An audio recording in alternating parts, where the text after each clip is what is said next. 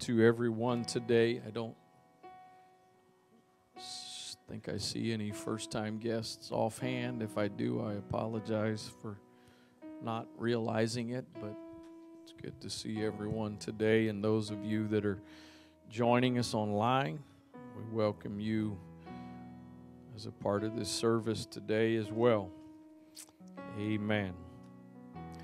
Praise God. I want to read one verse to you at the beginning. I'm going to read a bunch of verses today during the message. It's kind of interesting to me. It's kind of a sad thing to me. I hear people make references. Some people say how wonderful it is when a preacher uses a lot of scripture. Because it seems like a lot of messages today quote different people. They're maybe nice, positive, encouraging thoughts, but but this this is the basis of everything we do. So one verse now, but many later. First Peter chapter 3 verse number 15. But sanctify the Lord God in your hearts and be ready always to give an answer. And all of this verse to really kind of get to this one point. It says, Be ready always to give an answer to every man that asketh you a reason. And, and this next part is where I want to draw your attention to. That asketh you a reason of the hope that is in you with meekness and fear, giving that answer, giving that response. But the hope that is in you, the hope that is in you. God, I thank you for the privilege of being together today to worship and exalt your name. You are always and will always be worthy of our worship and our praise. We'll never praise you enough. We'll never praise you and worship you too much. Everything we could ever give, you're worthy of that and even more. So thank you for the privilege of joining together with fellow believers to worship and exalt you today. Thank you for your presence here. I thank you for your spirit that is working here today. God, I pray this morning that you would speak to us, that you would minister to us through your word. Pray, God, again today that I would not simply stand up here and preach a sermon, but that you would let me be a messenger to deliver a word that would come directly from you. I pray, Father, that faith would be released in this place today to mix with your word that we might be profited. In the name of the Lord Jesus Christ, in Jesus' name, amen. God bless you. You may be seated. Before I really get into this message this morning, I want to just preface by telling you, reminding you, declaring to you today we, we cannot do this by ourselves. We cannot do this on our own. Yes, first and foremost, we need Jesus. But whether you like it or not, we need each other. We are a part of a body. This is the body of Christ. We are members of the body of Christ. It is, I don't have time to get into some deep theological explanation of this, but it's not individuals that are going to heaven. It's not individuals, it's the church, it's the body. And so you and I must be a part of the body of Christ. I do not believe that this congregation is the body of Christ. But I am here because I believe we are a part of the body of Christ. And if I didn't believe that, I'd be someplace else. The body of Christ is made up of people all over the world, and it's not about a name brand of a religion. It is about following the biblical plan of salvation, but it's not about a name brand of religion. So I, I want you to know because the, the, the direction of this message is kind of different than, than that point. But I just want to remind you at the outset that, that you need the body of Christ. I've heard of people who have said, I don't know that I can say I've ever heard anyone tell me directly, but I've heard many times, many stories of people who have claimed to be Christians, claim to believe in God, but just that I don't need church. I don't need the church. That is absolutely contradictory to what the Bible tells us you've got to have the body of Christ. You've got to be connected to the body of Christ. The moment one of your physical members of your body gets cut off from the body, it can't live anymore. So it is with the body of Christ. If you're not connected to the body of Christ, you can't live by yourself. Life comes from being connected to the body and the, and the blood and the things that flow through the body. So we need each other. We've got to have God designed it that way. But I've also come to preach to you today. You need something within you. That there's got to be something within you. And Peter says that you need to be ready to give an answer, and that could be a whole nother message for another day. But he says the thing you've got to be ready to give an answer of is the hope that is in you. And really, the context of what he's saying in this verse is people recognizing the hope that is in you. How come you're smiling in the midst of a chaotic world? How come you're smiling in the midst of sickness? And how come you're smiling in the midst of financial difficulties in your life? How, how come you're not afraid? How come you've got peace? How, how come you've got assurance? He says you need to be ready to give an answer for that. But I want to tell you, it ought to be recognizable that there's something inside of you that others don't have the hope that is in you. I got a question. What kind of hope do you have in you today? I believe that every time we come together for church services or oikos gatherings or whatever other gatherings it may be, that there ought to be people who came not necessarily feeling well, and I don't really mean that necessarily physically, but that's fine as well, but maybe struggling, weary, discouraged, whatever, but at some point during that time, time together, the Spirit of the Lord ministers, and by the time they leave,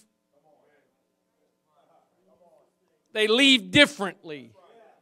There was a principle with the, the, the temple that, that you weren't supposed to go out the same door. Y'all don't know it, but since COVID, we, especially, well, not as much anymore, but before we had to close off the doors, we were, as, we were being more biblical than we had been. Because you came in one door and you went out another door. That's the way it was in the temple. If you came in the east gate, go out the west gate. If you come out the north gate, go out the south gate. The principle is don't leave the house of God the same way you came.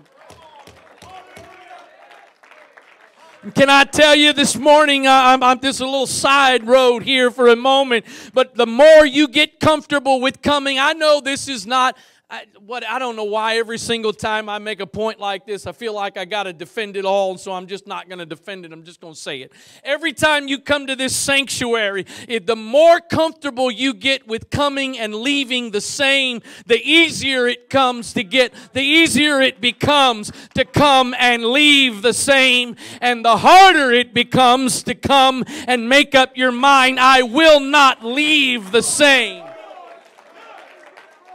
And I don't want this to sound defensively this morning, but you leaving differently than you came is not on the worship team and it's not even on me as the pastor. You leaving differently than you came is all on you because you've got to make up your mind. I'm not going to go out the same way I came. If I came in with anxiety, I'm going to leave with peace. If I came in hopeless, I'm going to leave with hope. If I came in in discouraged, I'm going to leave encouraged. Because if nobody else knows what I need, He knows what I need. And if nobody else comes to me, I'm going to go to Him.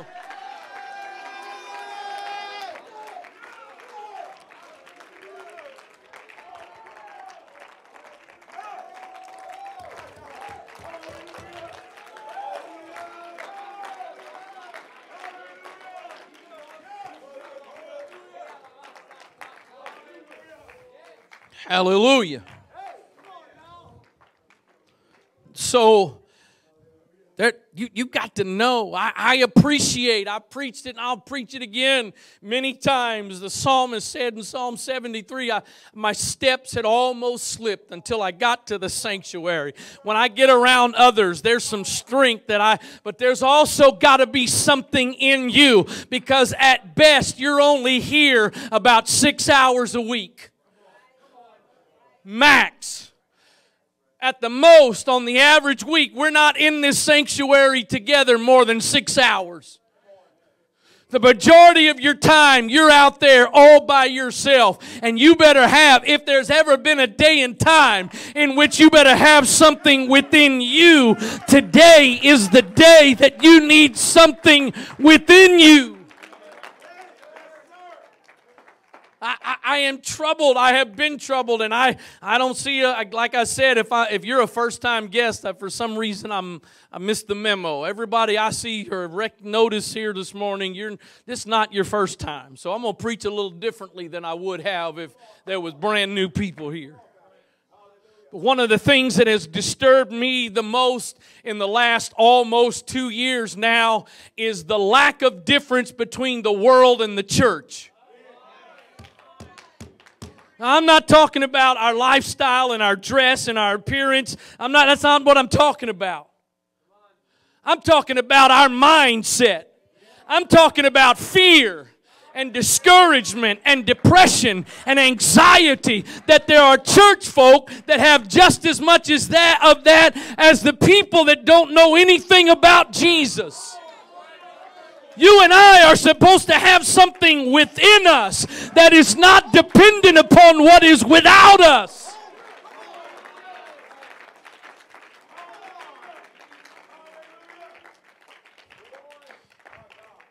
So, yeah, there's a part of this that we could preach this morning. There ought to be something about you that people that recognize, and you need to be, but that's not the, the message this morning is you better have something in you.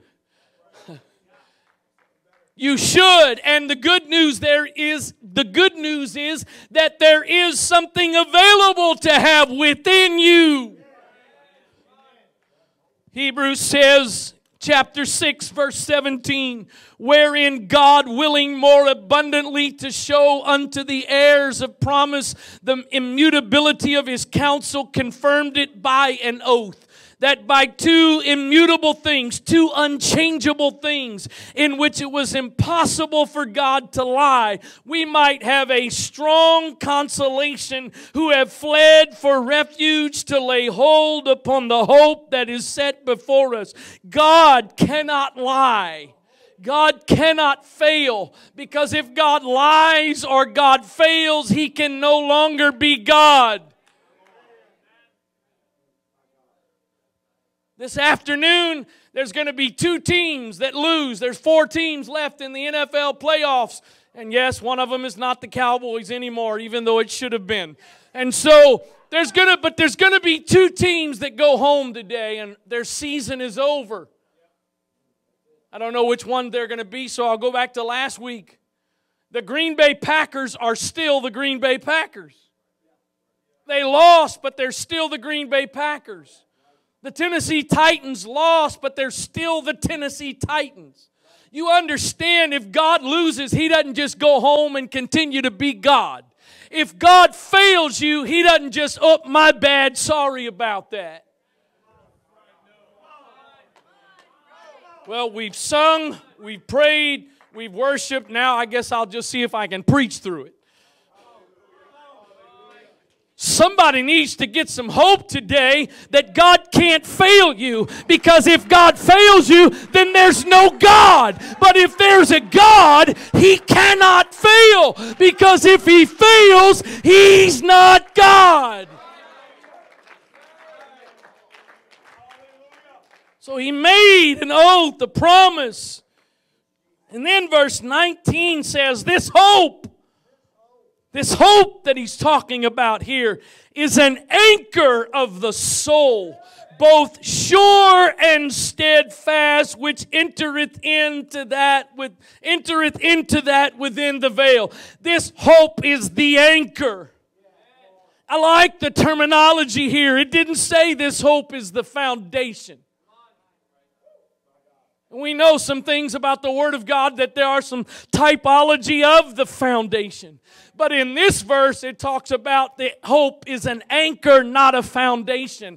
And I like that terminology because if we all, most, I think everybody in here knows what an anchor is, and everybody has probably seen at some point a picture or a video of a boat or a ship that was anchored. You see, if this building moves, we got problems because storms blow through, winds come, but we expect the foundation to not move. But it's different when you got an anchor and you're out in the water. You move. If it's wavy, the boat moves. If it's windy, the boat moves around, but it only moves so far because there's an anchor that while everything you see is shifting and turmoil and chaos, that anchor keeps you held in the basic same position. And so the scripture says we've got a hope that is our anchor. Why am I still here? Because there's been a lot of winds that have pushed me around, but I got an anchor. There's been a lot of turmoil in the world, but I've got an anchor. And the anchor is hope. The anchor is hope. Hope. Hope.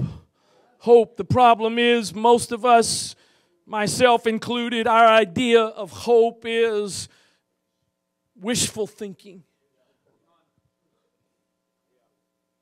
Hope. I don't know why. I don't really have a reason for God. I know a bunch of you don't have anything to do with sports, don't like sports, but to us that do, you can at least relate. So I, I don't know why, but I, I was hoping the Buffalo Bills would beat the Chiefs last week. I don't really, I, this just my hope. I don't know. It was wishful thinking. I, it was just a hope. Anybody hope you get a raise this year? Anybody hope? I got a question. Y'all keep those hands up, keep your hands up if you hope you get a raise. How many of you that got your hand up hope you get a raise? You don't really expect to get a raise this year. Put your hand down.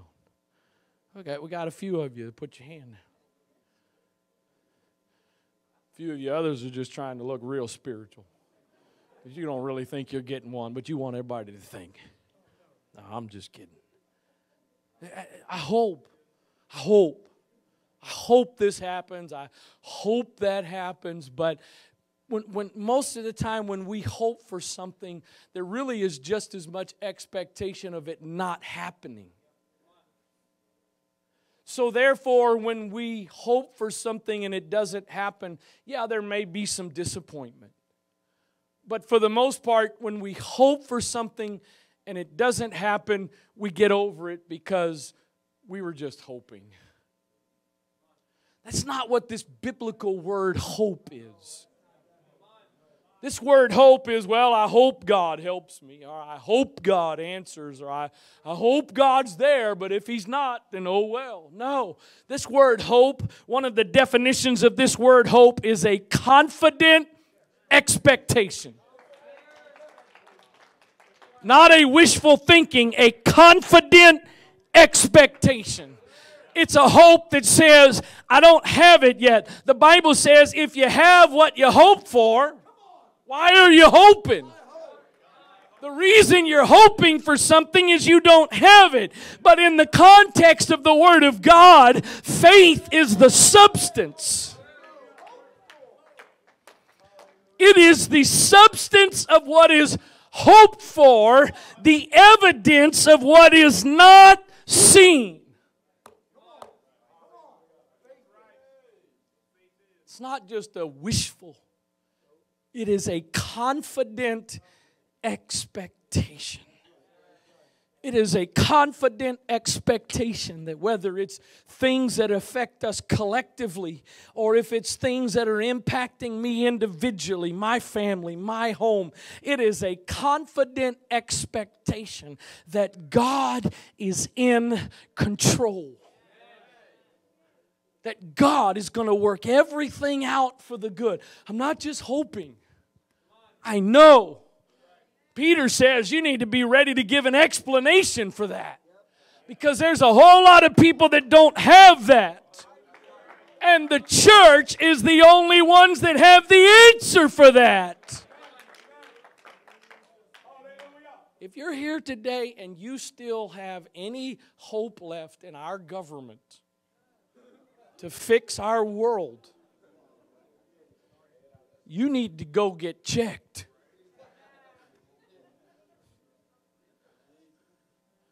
Because it doesn't matter what party's in office.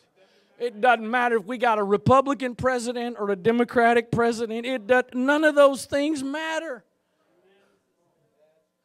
Because none of those things can fix it.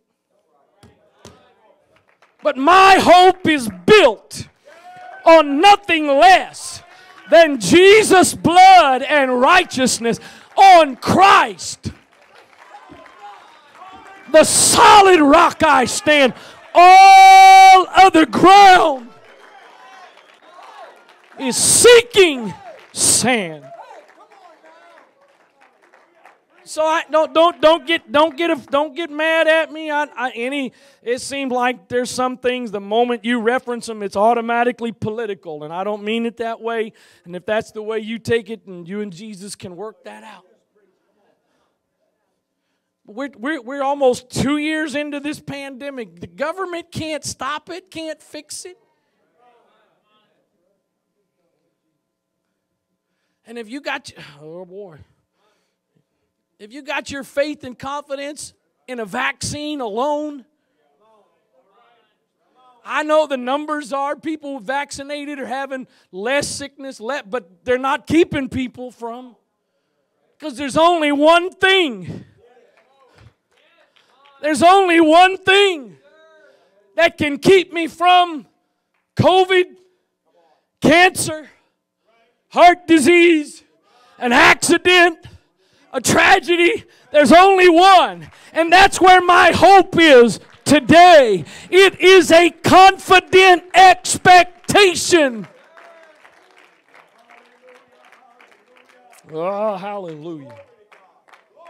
So, so look, look, look, look at this. I, I think really this is an example. I, you're not going to see the word hope and whatever in this passage, but I think this is a perfect example of the sort of the gist of this message this morning. It's in 1 Samuel chapter 30 and verse number 1. The Bible says it came to pass when David and his men were come to Ziklag on the third day that the Amalekites had invaded the south and Ziklag and smitten Ziklag and burned it with fire and had taken the women captives that were therein. They slew not any, either great or small, but carried them away and went on their way. So David and his men came to the city, and behold, it was burned with fire, and their wives and their sons and their daughters were taken captives. And if their wives and their sons and daughters are gone, what is the reasonable expectation? Not just they've been captured, but they're probably dead. So, I mean, this was a very bad situation.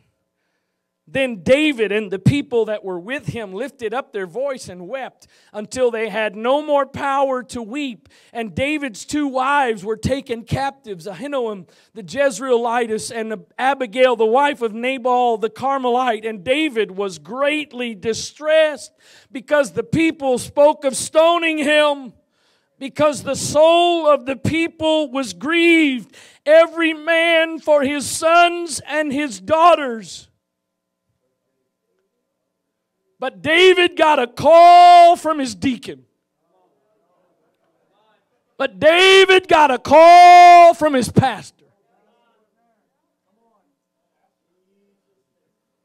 But David got his name put on realm for a prayer request. Nothing wrong with all that. But that didn't happen. David encouraged himself. There was something within.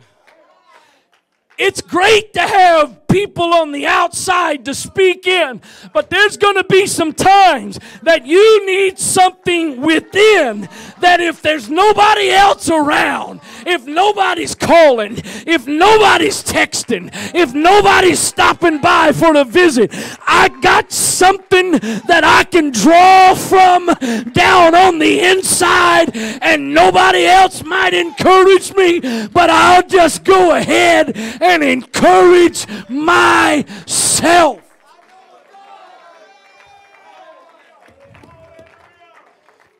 He encouraged himself. Now, I, am I'm, I'm, I'm going to try to be kind of mindful about the way I make this next point because we got slang that we use, and, and all of your minds are just going to go in the gutter. So, but but but it's it's important what comes after, and I'm going to add the word conjunction to make this sound a little more sophisticated. It's important what comes after the conjunction but. I was going to just say it's important what comes after the but. All of y'all sophisticated folks. It, it's important. The order is important. Because this is what some of us do. This is how some of us do it. You get, I got, I got a disease, or excuse me, God is a healer. But the doctor said, God is a provider, but I know all the bills I got. God is a waymaker, but I never had something this big before. You got to change the order. The doctor just told me I got a terminal disease. But God is a healer. I just looked at my bank account and I don't really have enough for my needs, but God will provide all of my needs according to his riches and glory. I got a situation that I don't have an answer for. I don't know which direction to go, but God is my waymaker. I'm in the valley of the shadow of death, but God is my shepherd.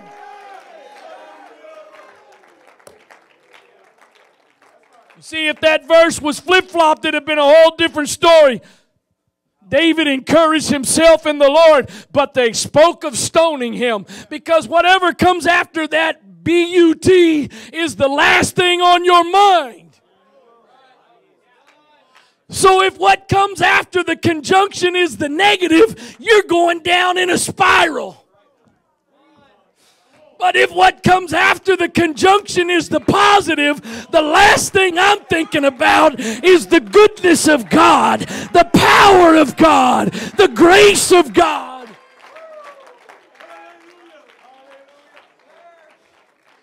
David encouraged himself. That word encourage has got an interesting definition to me. That word encourage means to fasten upon. So David's got all these people that are mad at him. They're talking about killing him. He could have fastened himself on all of that.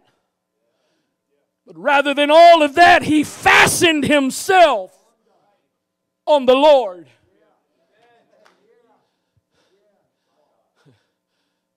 If you don't know it, Google it.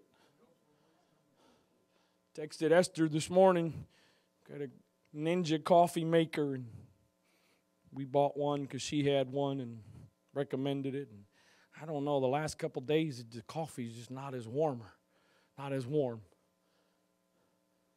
I was trying to figure out is there a temperature control, and she responded and said she didn't really know. She said, "You Google it." I Googled it and I didn't get an answer, which is amazing because we know Google has all we know Google's got more answers than this. We do know that because that's oftentimes the first place we go. Oh man, I got a pain in my head I've never had before. Instead of going here, that God is a healer, we go there. Let me tell you something. If you're still going to Google when you have symptoms, you are, I'm sorry, this is a biblical term, don't get mad. You are a fool. Because I can pretty much guarantee you, in just a matter of a few moments on Google, you have a terminal disease with days left to live. I'm not speaking hypothetically, I've done it. Years ago, probably 15 years ago or so. That was before I even knew how powerful Google. We were just starting to learn how great Google was. How great is our Google? Sing with me, how great is our Google?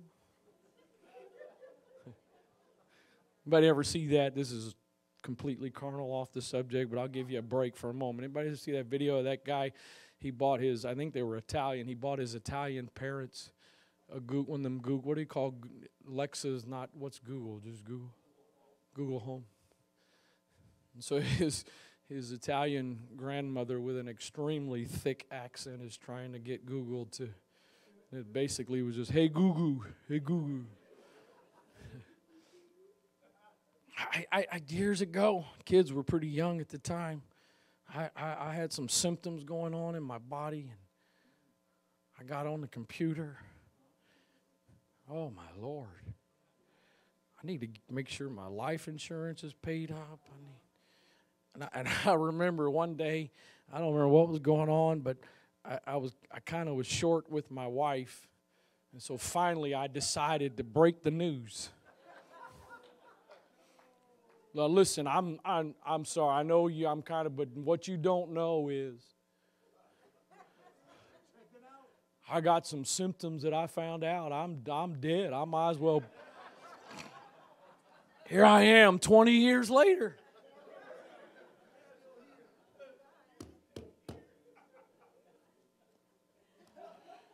What are you fastening on today?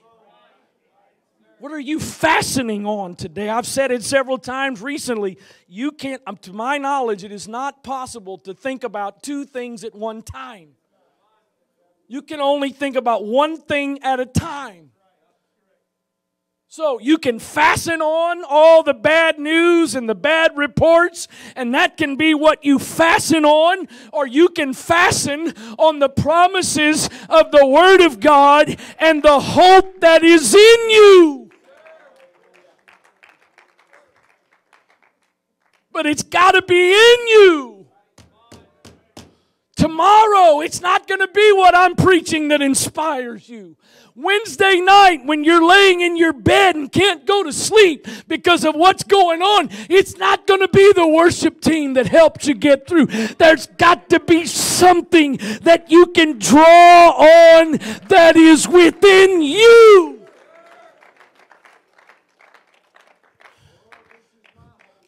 Jesus, Jesus, God manifested in the flesh. when in the wilderness being tempted by Satan, combated the temptation with three times. He started off by saying, It is written. I mean, Jesus could have just said what he wanted to say because he was God.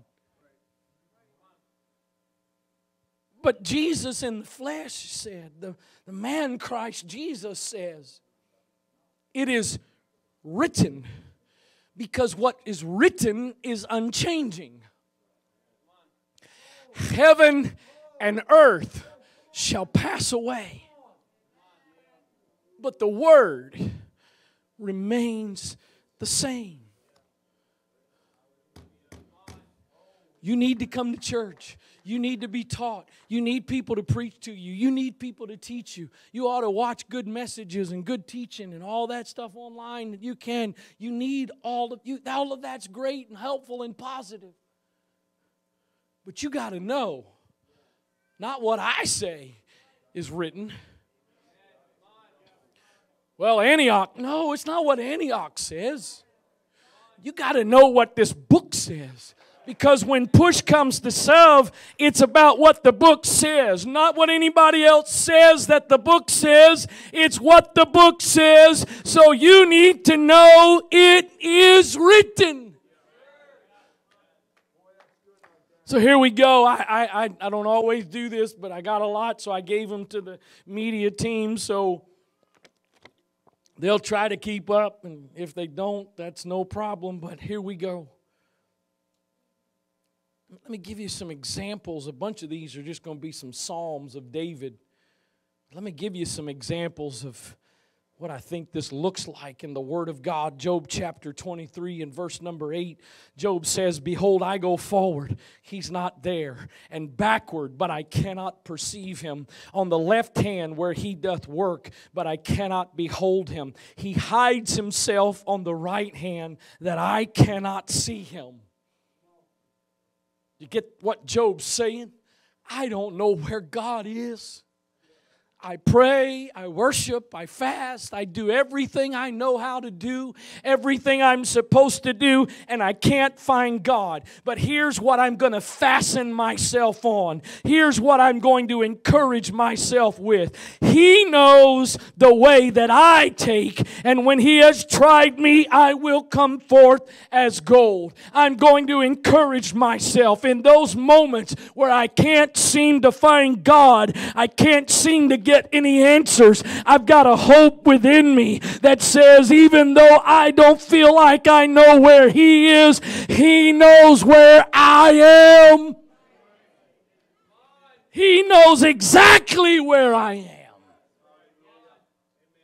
I like. I know some of you all about your privacy, and I'll, there's a lot of areas I'm with you about my privacy, but it took me a couple of years after the Find My Phone app came out before I ever used it. But I, I love it. I, I love it because there's a sense of security. And I most of the time I, I don't my, my first thing, if I want to know where my wife is, my first thing is not to go on my find my phone and see where she is. But but I, I like to be able to do that. Because I don't trust her. We're in a crazy world. If she's out of touch or something, I, you know, I, I want to know. Every now and then, all you get is this shaded circle. That circle can be a mile or two radius. I like it when it's just that one little dot. Let me tell you something. God's not just going, well, I, I think Jim's in Anne Arundel County, I'm pretty sure.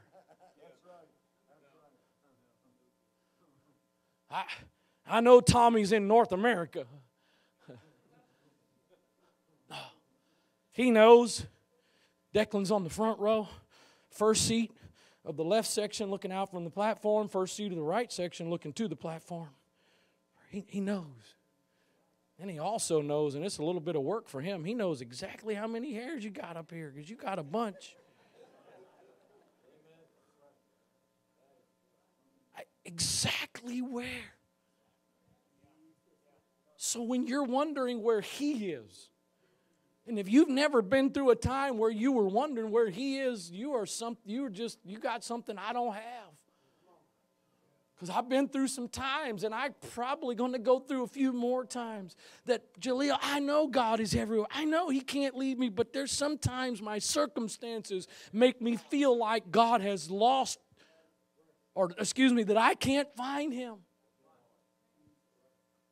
And so I can fasten myself on the circumstances.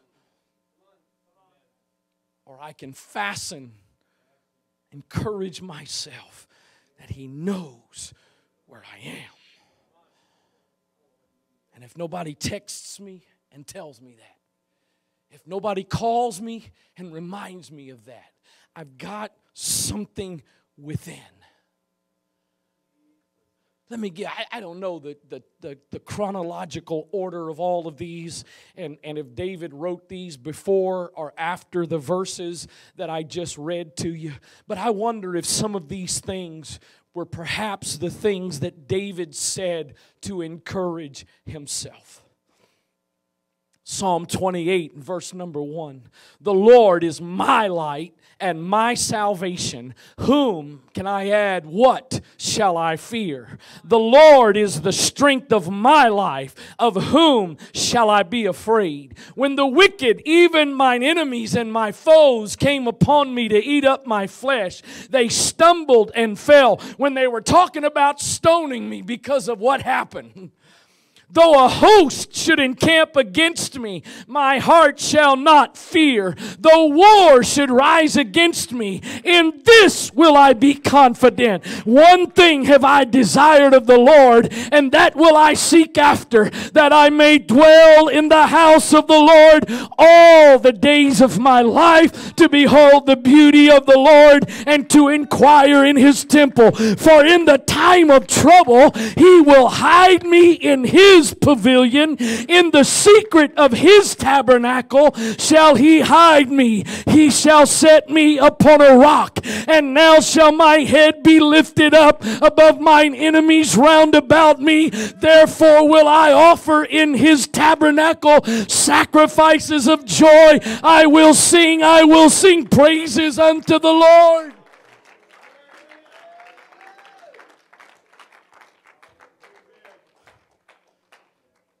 we, we oh Lord, here we go, here we go, here we go. I, I really, I hope I've proven enough of a track record that I try to be mindful, respective, and I try to keep my opinions as opinions to myself. So I promise you, if I make any reference or say anything from this pulpit, then I am to the best of my ability. I'm not saying I do it perfectly, but to the best of my ability, I'm trying to say whatever I feel like God wants me to say. I, I, I'm not here to make a statement for or against quarantine, whatever. I, whatever. At the end of 2020, COVID went through my house, and we were all in closed quarters. And Timothy, not one, he, he wasn't quarantining away from the rest of us. We were interacting, we were all together. And when I went through the whole house, he never got it. Last week, I'm pretty sure Nathaniel tested positive. I don't, I don't.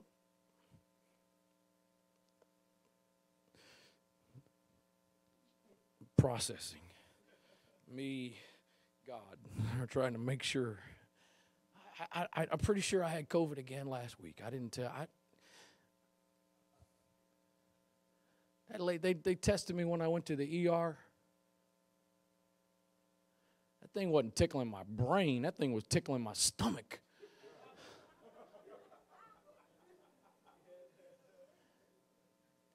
and my companion, my better half, my spouse, the one that is my helpmeet, is sitting in the chair next to my bed, dying laughing at me. It wasn't painful, thankfully. I couldn't open my eyes for what felt like 20 minutes after that lady did that. Watering it. Ah. So I ain't doing that any more than I have to. Last week, several of us, myself included, and far as we know, no symptoms, no, my wife never got it. we, we were in close proximity. The point is, you can do everything in your power. And I'm not saying don't be. I'm not saying don't use caution. I'm don't don't. Ugh.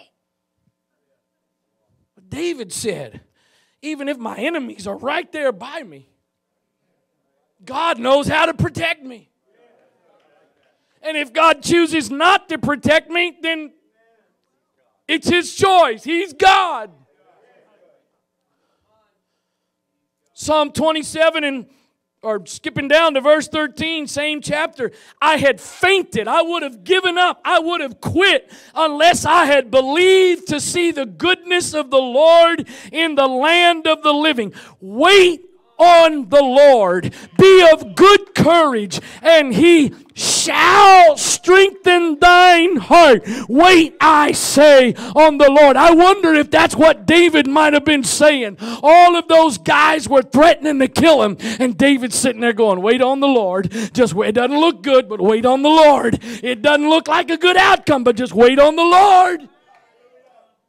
Psalm 34 and verse 4 This poor man cried, and the Lord heard him and saved him out of all of his troubles. The angel of the Lord encampeth round about them that fear him and delivereth them. Oh, taste and see that the Lord is good. Blessed is the man that trusteth in him. Psalm 42 and 5 why art thou cast down, O my soul? And why art thou disquieted in me? Hope thou in God, for I shall yet praise him for the help of his countenance. I know if you talk to yourself, you're a little bit crazy, but we're all a little bit crazy. And I think we're more crazier than we've ever been after what we've been through the last two years. So just go ahead and put your AirPods in, put your headphones in, and just talk to yourself a little bit. David, why are you so discouraged? Why are you so afraid? Why are you so overwhelmed? Hope.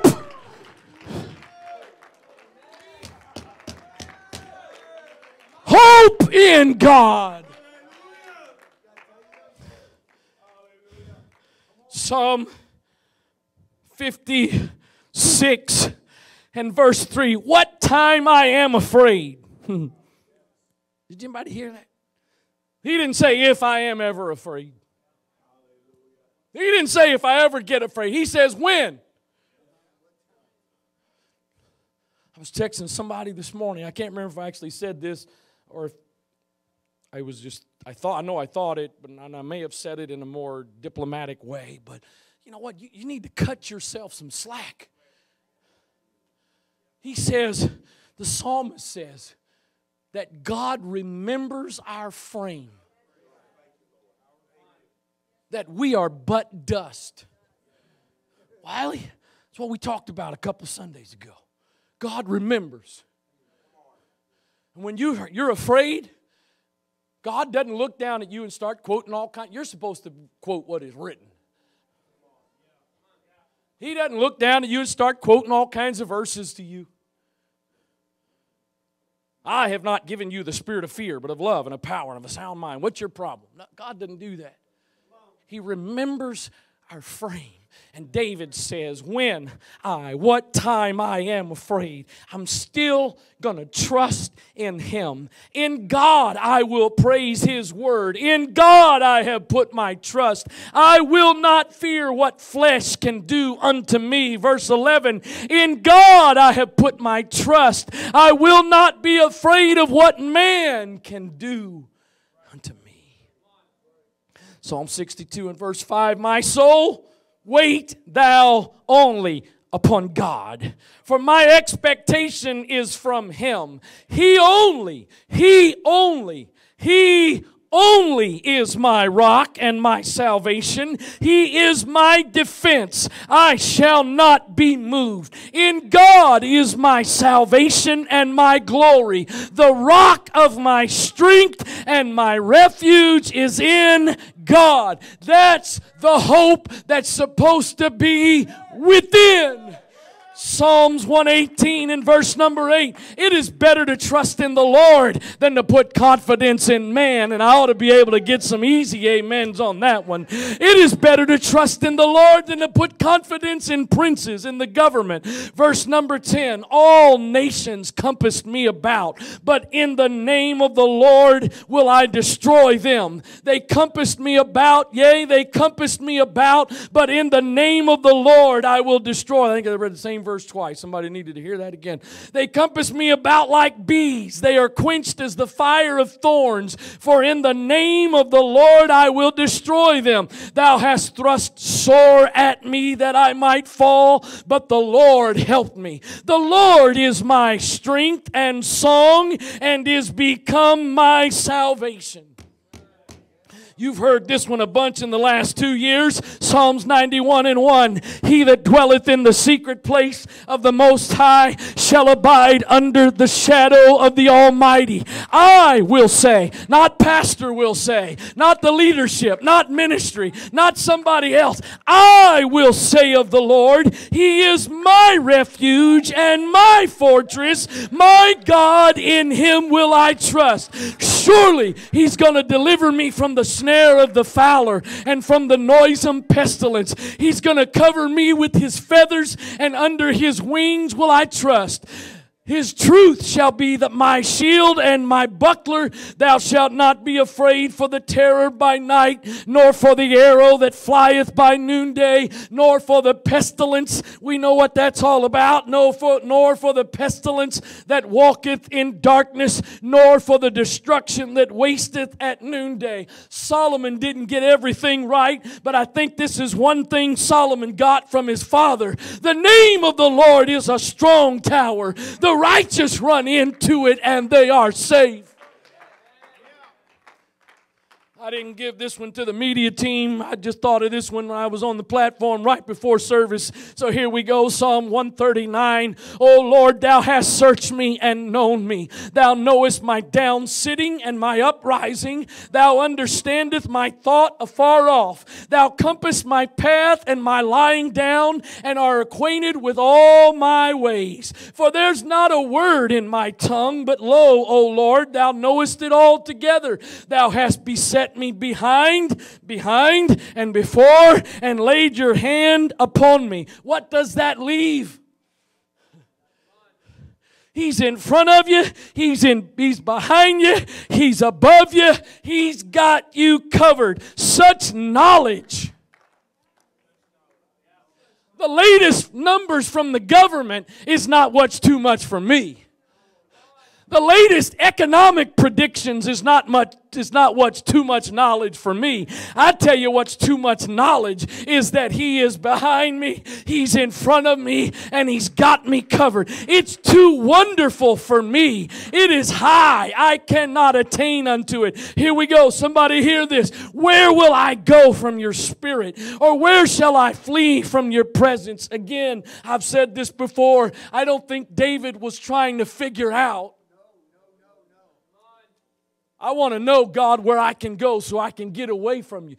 David was asking these questions as a reassurance that it doesn't matter where I am, it doesn't matter where I go, you are going to be there. If I ascend up into heaven, you're there. Of course, we know that. We expect God to be in heaven. But how about the next part? If I make my bed in hell, behold, thou art there. If I take the wings of the morning and dwell in the uttermost parts of the sea, even there shall thy hand lead me, and thy right hand shall hold me. If I say, Surely the darkness shall cover me, even the night shall be light about me. Yea, the darkness hideth not from thee, but the night shineth as the day. The darkness and the light are both alike to thee.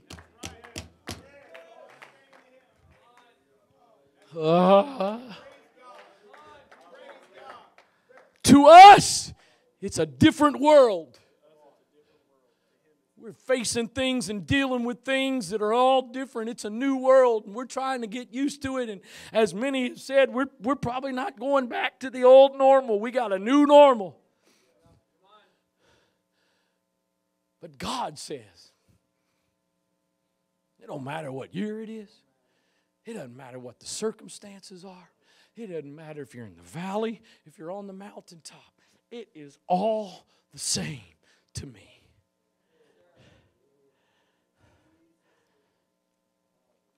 I'm almost done. Isaiah 59. This isn't the psalmist, but it's some good stuff to have within you. So shall they fear the name of the Lord from the west, and his glory from the rising of the sun. When the enemy shall come in like a flood. When the enemy, not if. Don't, don't forget what I just read to you in the Psalms. David didn't, wasn't talking about trouble as a possibility. He wasn't saying if trouble comes. If he was he was referring to being in trouble. When the enemy comes in like a flood, the spirit of the Lord shall lift up a standard against him. It says also in the book of Isaiah, no weapon formed. No weapon formed against you will prosper. You need to make sure you realize what that verse says. And don't read it in a way that it doesn't say. Because I think too often we think of that verse in this way No weapon will form against me. And so when we see some weapons that have formed, we go into panic mode. God, you said no weapon would form. No, I didn't say that. Read what the verse says. The verse is actually saying weapons will form. That's what it's saying. They will form. But they will not accomplish accomplish what they were formed to do.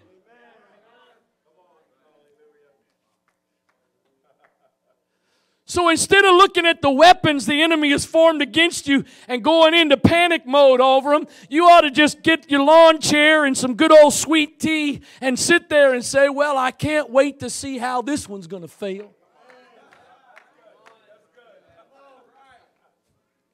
Here we go, one more. I'll try to make it the last one for this morning. You go into a game, especially like a football game, you go in with an offensive and a defensive strategy. You study tapes and you study your opponent and you try to come up with a game plan that is tailored to beat that team. And a lot of times, as good of a strategy as you may have formed, it doesn't succeed. That verse says that that is our heritage. That's what belongs to us. What belongs to me as a child of God is whatever the weapons are that are formed,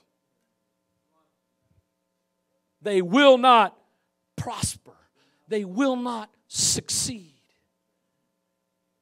Romans 8 31, last passage. What shall we say to these things? What things? Fill in the blank. I love it. Things. What's things? Whatever you say they are. What shall we say to these things?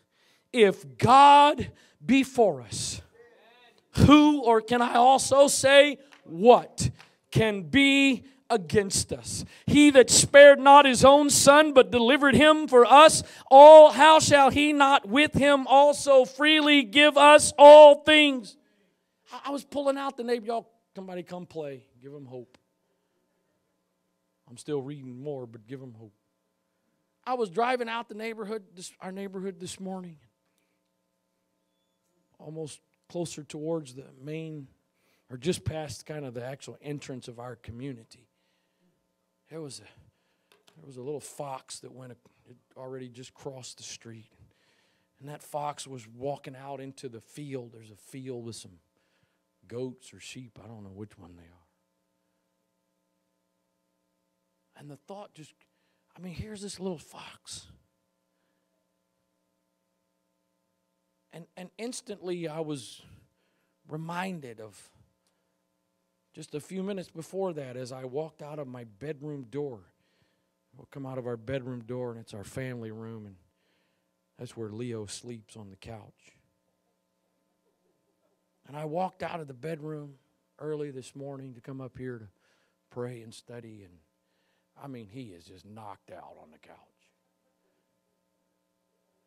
I think he opened an eye just to see who it was. Other than that, I mean, it was nice and toasty. He's on this nice La-Z-Boy sectional couch.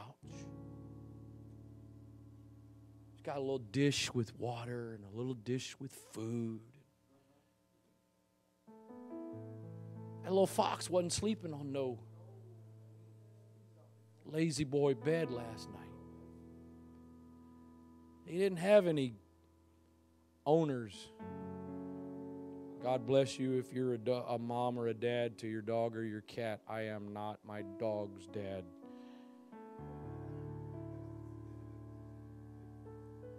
So, whatever term you like to use, he, that, that little fox didn't have any of that. All he had was a heavenly father that when he created the fox that he didn't die for he didn't come to this earth and become a fox. He came and became a man. And if he will if, if he'll take care of that fox if he'll take care of the sparrows how much more?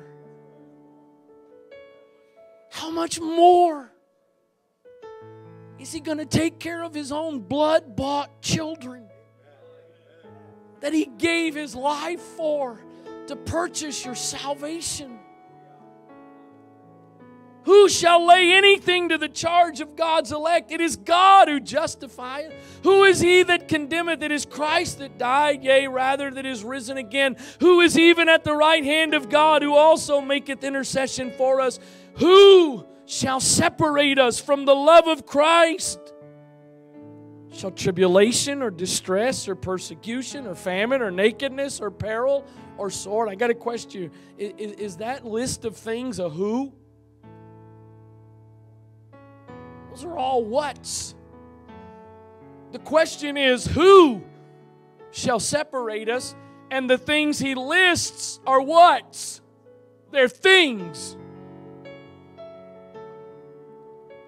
As it is written, For thy sake we are killed all the day long. We are accounted as sheep for the slaughter. Nay, in all these things, all these adversities, all these trials, all these tests, we are more than conquerors through Him that loved us. And so now Paul says, I am persuaded.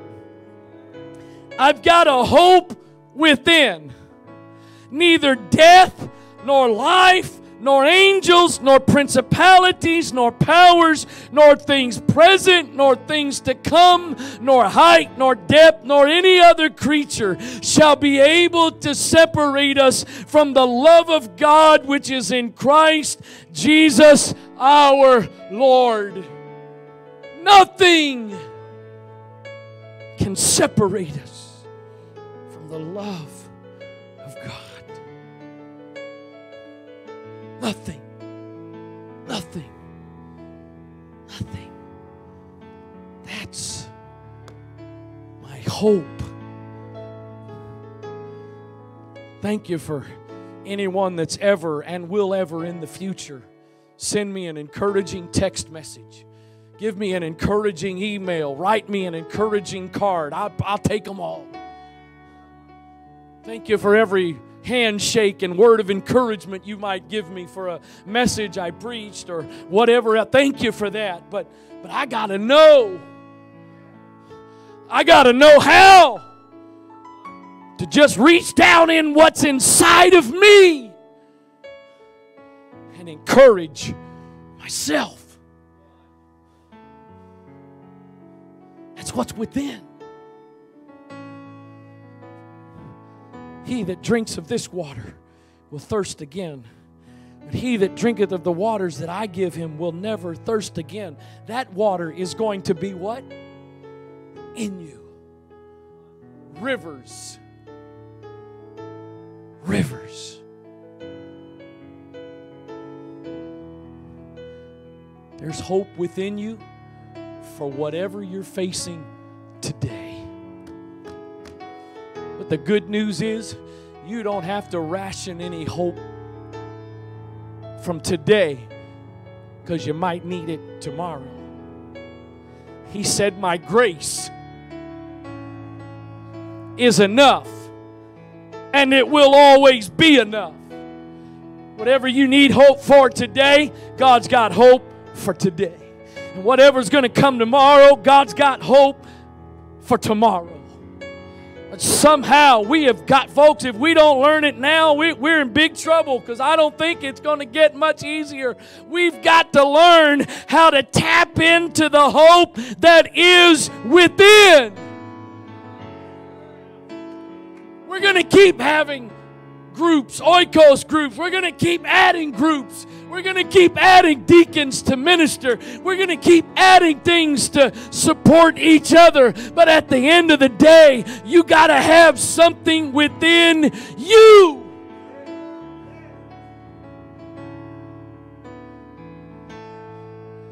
Oh God, help us today to learn from David's example learn how to encourage ourselves. If somebody calls me, thank God. If somebody texts me, thank God. But if I get no calls, if I get no texts, I've got some stuff down inside of me that I can draw from. And excuse the grammar, but if ain't nobody else going to encourage me, I'm just going to go ahead and encourage myself in the Lord. Uh, here's what we're going to do. Would you stand? I want you to stand. Here, here's what I want to do. Some of you in this place, you're going through some stuff. I know, I know a few of you. I've, I've had communication with some of you. I know specifically some of the stuff you're going through. And then I'm positive there's a bunch of people here today. I don't know all the stuff you're going through. We're going to do it differently this morning. And again, I, I don't see any first time guests, so we're, we're going to be a little more to the point. There's some people in this place. You, you, you got stuff going on. You're going through valleys. You're in some serious, deep valleys, surrounded by stuff. So here's what I'm going to invite you to do. If that's you this morning, I want to invite you to come down to this altar, but different than what we normally do. You're not coming down to pray and ask God to help you today. But you're going to come down here, and whatever the situation is if it's sickness, if it's finances, if it's family crisis, whatever it is you're going to come down here and you not somebody coming to read your mail and give you a word. You are going to start to declare some things that you know from the Word of God and begin to encourage yourself. That trouble may not leave immediately. All those problems may not go away, but I know one thing's going to change. That heaviness that's on you is going to change. That depression that's on you is going to change. That cloud that's hovering over you is going to begin to go. If you can't think of a bunch of different verses, if you don't know a bunch of different scriptures, then I got one simple one for you. Whatever it is that you're dealing with, God, you said you are the I am. You're the I am. So, whatever the issue is, whatever the problem is, whatever the difficulty is, you are the I am. In the name of Jesus. Come on, this isn't about emotion. If you have feelings and emotion, if you feel something when you do this, awesome. But I don't think when David first started encouraging himself that he was feeling anything. I don't think he had goosebumps on his goosebumps, as he would say. He had to press through and begin to declare. My God shall supply all of my needs my God shall supply all of my needs according to his riches and glory. My God is a healer. My God is a waymaker. My God is a deliverer. My God is a healer of marriages and families. And that's what my God is. And so no matter how big the problem is, I got a God who is bigger. Is your faithful Come on, David said it. My enemies may be encamped around me, but I've got the Lord also encamped around me. From the rising sun, adversity may have me on every side. I may be in trouble, but I've got a very present help in trouble. In the name of Jesus. In the name of Jesus in the name of Jesus. Come on, I don't want to I don't want this to sound harsh, but some of you aren't going to get what you need because you're not willing to just declare. You're waiting on God to do it. You're waiting on somebody else to come pray for you and do it. You need to encourage yourself.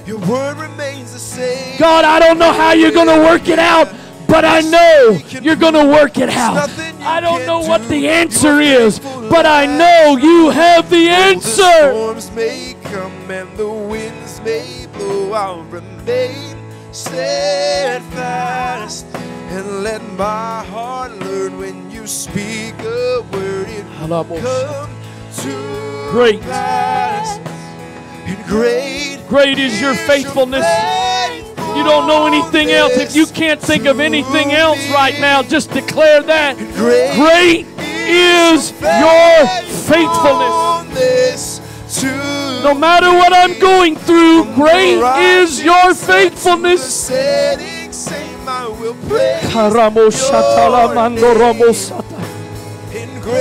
No matter how dark this night is that I'm in, great is your faithfulness. No matter how big the mountain is in front of me, great is your faithfulness. If you feel led to come pray for somebody, you're welcome to do that.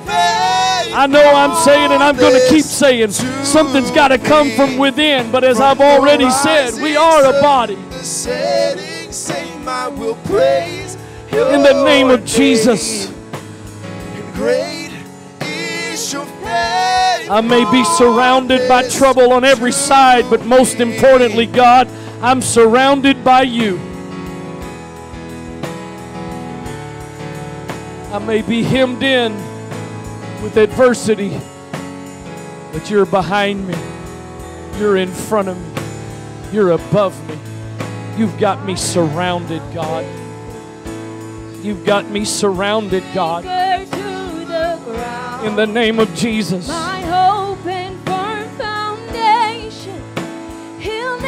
You'll never, you'll never let me down, God. There may be some moments where it feels that way. When it's all said and done, you'll never let me down.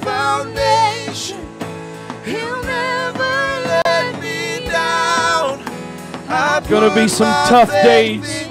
I'm gonna have to walk through some valleys, but I'm gonna go through the valley. I may have to go through sickness, but I'm going to go through sickness. I may have to go through suffering, but I'm going to go through. I've got an anchor. I've got an anchor.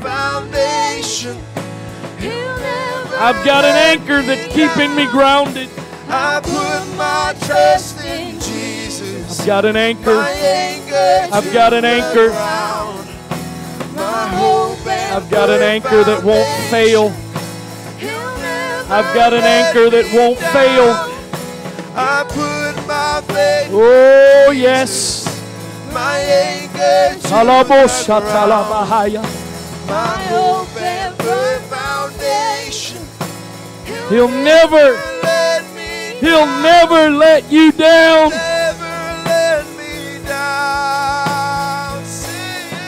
May be moments it seems like it. There may be moments it feels like it, but He will never let you down.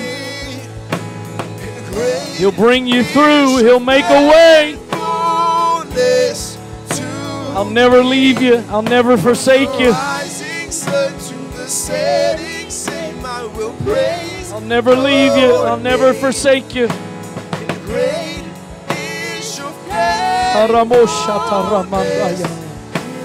Your faith. Aramosataramandaya. Ilabokosataramandaya labaha. Is your Great. Great is your faithfulness, God. Great is your faithfulness. Great is your faithfulness. I know I've questioned it sometimes, but it's great. Setting sun, I will I know I've even doubted it sometimes, but today I declare great, great is your faithfulness, Lord. In the name of Jesus, in the name of Jesus. To the ground. Oh, yes. My hope and firm foundation. He'll never let me I've got an unshakable foundation. put my faith I've got an unshakable foundation. My anchor to the ground. Hallelujah! Hallelujah! Hope and firm foundation. The Holy Ghost is not done. People are not done praying, but if and when you need to go, you're welcome to do so. Jesus, my anchor to the ground. In the name of Jesus, my hope and foundation. He'll never, He'll never let you down. let me down. He'll never let you down. Never, never, never. Great is your There may be some weapons that form. There may be some adversity that comes your way, but you're more. I'm more than a conqueror. I'm more than a conqueror. the rising sun to the setting I may get knocked down, I may fall down, but a righteous man falls, but he gets back up.